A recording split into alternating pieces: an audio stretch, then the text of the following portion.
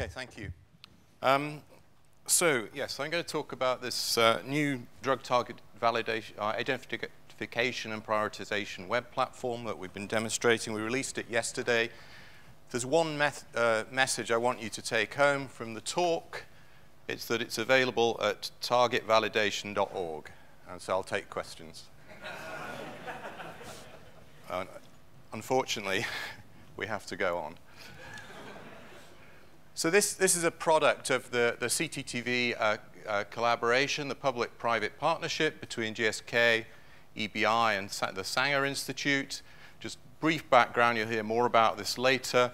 The idea is to provide experimental and computational approaches to enable transformational change in selecting and validating targets. Uh, we're based largely on the Genome Campus, and we share all the findings openly, so there's no restriction on any of this data. And we think that by pooling the expertise of the three organizations and others who may come in to join, we can uh, actually achieve this goal. So the program that we've got going really has two sides. There's an experimental data generation side, which I'm not going to talk about, but Jeff Barrett will later tomorrow. And then there's a bioinformatics side of putting together public databases and pipelines that feed uh, into a target validation platform through which we release the data.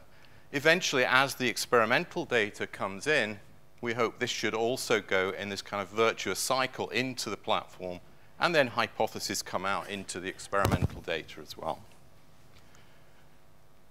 So now just concentrating on what we're trying to do with targetvalidation.org, it's really about enabling easy access to the relevant evidence that describes the association between a target, a potential drug target, and disease. And it's that enabling easy access that we want to, to, to prioritize. So the idea of the platform is that it should be intuitive. You should be able to go there and understand what you're seeing straight away. And really, it's driven by the user. So it's not about me as a scientist saying, this is what you should have. It's about the user saying, these are the kinds of information that we want. This is how we expect to see them. This is how we could see them. How can we integrate them together? Behind the platform, we're required to model some of those complex research approaches. So modeling some of the genetics, uh, we also need sustainable infrastructure so we can take that data from public domain databases and, and feed it into the platform. And we've also got to be obviously timely, relevant, and, and integrated. But chiefly, it's the idea of having this intuitive interface that we want to achieve in this first version. These are the technologies that we're using at the moment. We won't go into any of that for now. So underneath the, the platform, the philosophy is really, can we provide a summary of the evidence that relates a target to a disease or phenotype?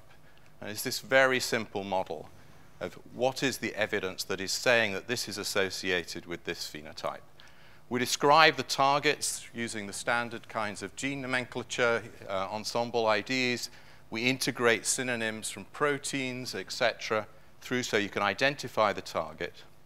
And then on the other side, in the disease side, we use an ontology which is called the experimental factor ontology to relate diseases to each other, which now allows us to build up a hierarchy and move smoothly between different disease, diseases or phenotypes. And then the chief guts of it all is in this, this little ball here, which is what's the evidence? And for that, we're not trying to reproduce the uh, databases of record, but what we're trying to do is take the information from each of these databases that addresses that specific problem of the association between target and disease. So, for instance, from UniProt, which is the database that has a lot of curated information about protein function, uh, we want to take what's the relationship between those proteins and disease that's been curated.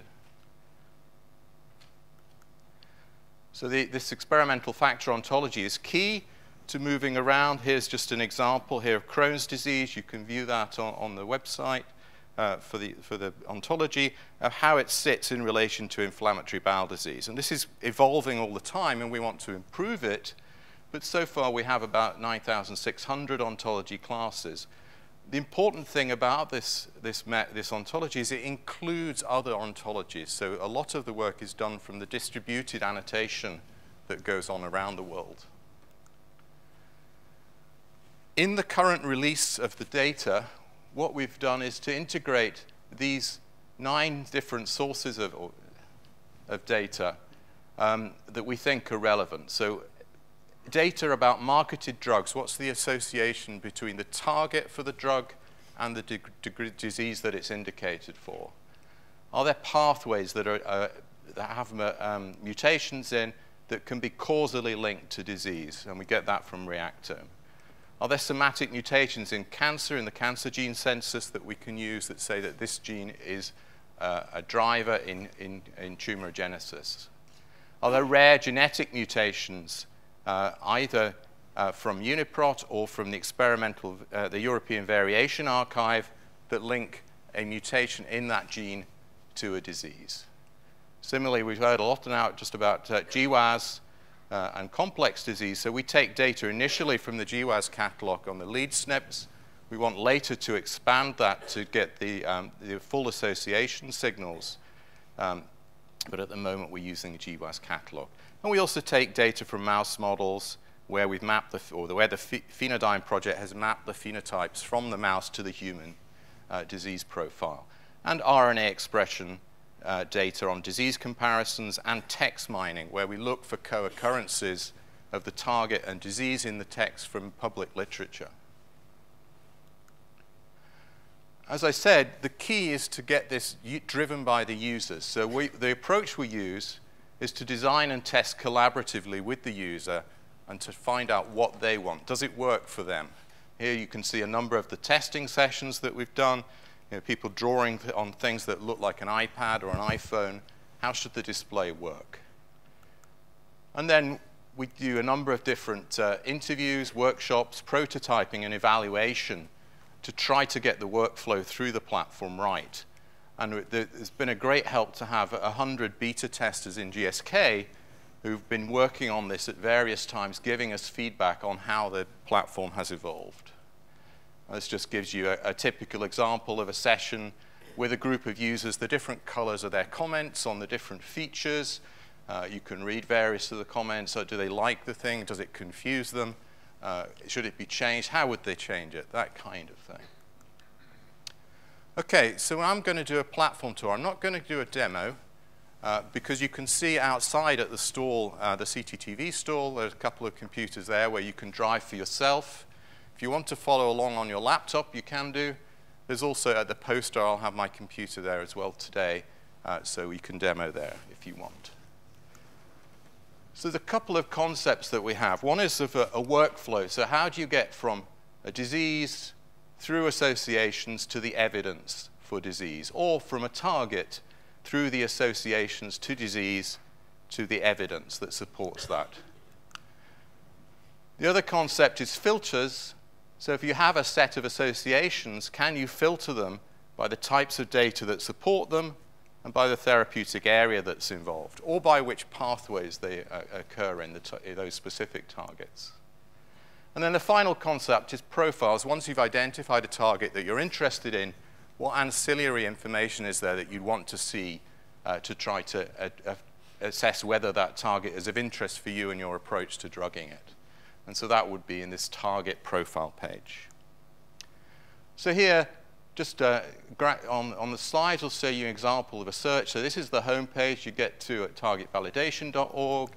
Type in the disease name, asthma, uh, it has some intelligence behind it, recognizes that I'm, I'm searching for asthma, uh, and I can click there and go on to the next stage. Or maybe I was looking for child onset asthma or some other phenotype that I can could select instead. In this case, I was looking for asthma, and I get a, a, disease association page where I see the target associated with asthma. And the idea here is it's a kind of a blue heat map that the overall association score is on this left-hand column, and then the evidence that come from the different data sources, genetics, somatic mutation, not relevant here, obviously, drugs, pathways, RNA expression, text mining, and animal models is shown by the color of the blue box. And the darkness of that color reflects the amount of association that there is. I can filter the data, so I'm only interested in genetics, say, in this audience. Click on the genetics, so I now only see evidence, or I, know, I only see associations where evidence comes from genetics. I can filter again and say I'm only interested in things that are in signal transduction pathways, and I'm now down to a much smaller subset of targets that might be interested. Let's say I was interested in PDE4D. I can click on that. I go to an association page. There's a summary of the evidence score in this little flower petal. You know that it's this target, this disease. And there's a series of boxes here where the dark colors show where there's data. So I can open those up. There's one GWAS here that associates this to uh, uh, asthma. It's a relatively high p-value. You can also see that in a little browser uh, here, which is just uh, uh, shows you where that SNP is. This is the one that's associated. These are other associations for this gene that have been found. I can do the same for a target. So if I'm interested in BRAF, type BRAF, and I get a different display. This is a kind of bubbles view. Here again, the colors represent the level of the association, the amount of evidence that there is, but now they're grouped by therapeutic area.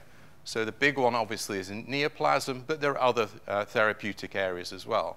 So if I was interested in skin disease, I can click here and zoom in specifically on the associations for skin disease, where you see, of course, melanoma and a number of other associations. And the data here largely is coming from the cancer gene census. If I was interested in BRAF uh, a bit more, I can go out to this profile page, see data in a graphical form that's coming from UniProt, start to see things like where the, the binding sites are, and so on. There's also information in pathways and uh, the bibliography, the target family, etc., cetera, et cetera. And all of this is pulled in in these little widgets uh, that we get from outside. So in summary, we'd like you to try this out. If you like it, give us feedback. Support at targetvalidation.org. If you don't like it, give us feedback as well. Does it do things that are useful to you? Does it help answer questions that it has? Is it intuitive? Are there other data sources or other analytic procedures that you'd like to see represented? We're interested in all of that kind of information. If you want to hear about uh, forthcoming releases, you can uh, email contact at targetvalidation.org. You'll get uh, put on a mailing list. This is obviously the work of a large number of people. The core platform development team here, this group of people has done a lot of work um, to put this together, but supported by the various uh, sort of tendrils within EBI and the Sanger Institute, uh, where we get data provision, the leadership team, and a large input from GSK beta testers. Just a couple of other points. So you don't have to have any user account to use this. You just go to the website. Uh, and it's public data, uh, and the platform is public. GSK, for instance, doesn't have access to the logs of what you enter. They're not going to be monitoring this. Um, and I'll stop there.